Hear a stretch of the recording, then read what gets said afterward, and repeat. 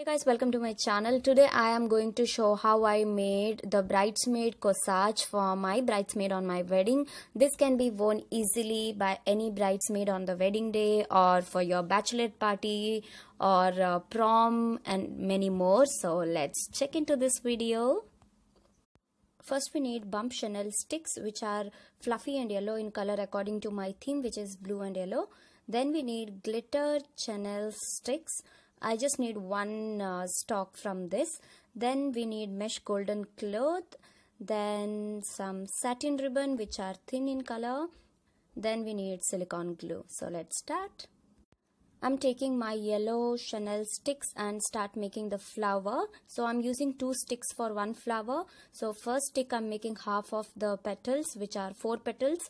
And I'm just turning and twisting it in like this. And my half petals are done then I'm taking another stick and doing the same. Every petal before doing one petal I'm taking the string from the previous petal so that the whole flower will be sturdy and firm. Now in this flower I'm just making three petals and leaving one thing as a stem. And then I'm taking the stem inside the already formed half flower so that they both will be attached and doing it so and just arranging the petals that my two side of the flowers are attached and I have a stem also.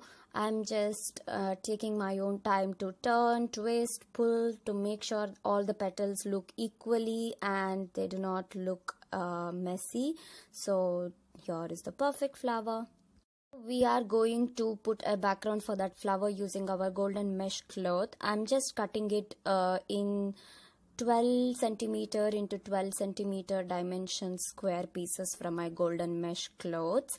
Now it depends on you that how big flower and the background do you want. Uh, it depends on the hand also in which you are wearing. So if you have a bigger hand you obviously need the bigger background or bigger cloth. Now i have cut and made a uh, a rough round shaped uh, cloth and then I'm just seeing the length over there. Now I have also removed the inner portion of it so that I can uh, easily form the frill, frills by sewing. I'm taking a thread and needle and trying to sew it uh, in the length of about uh, 1 centimeter apart and then randomly stitching the inner part like so now uh, this stitching can be a little bit tricky. Don't try to pull a lot of cloth and uh, try to make it a little loose.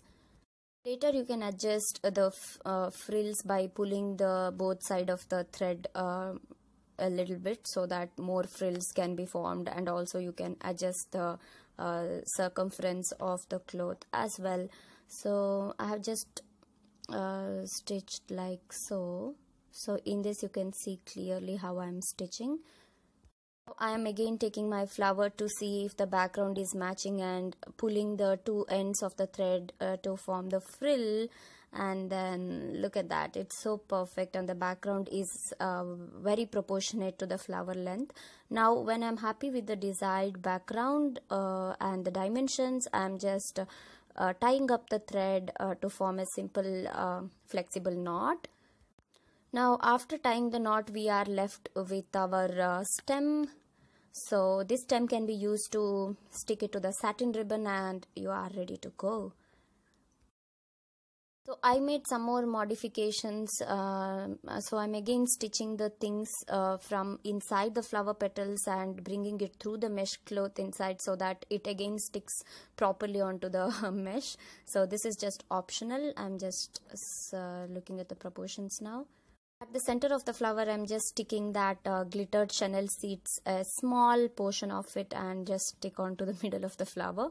Now I have cut the satin ribbon for how much ever length I want to tie for my hand and then turning and twisting the stem around the satin cloth to just make it get attached to it since the chenille sticks has metal um, uh, inside it so they will properly uh, firmly hold the satin ribbon and this is how the overall flower looked like. And if you like this video give it a like and subscribe to my channel. Bye bye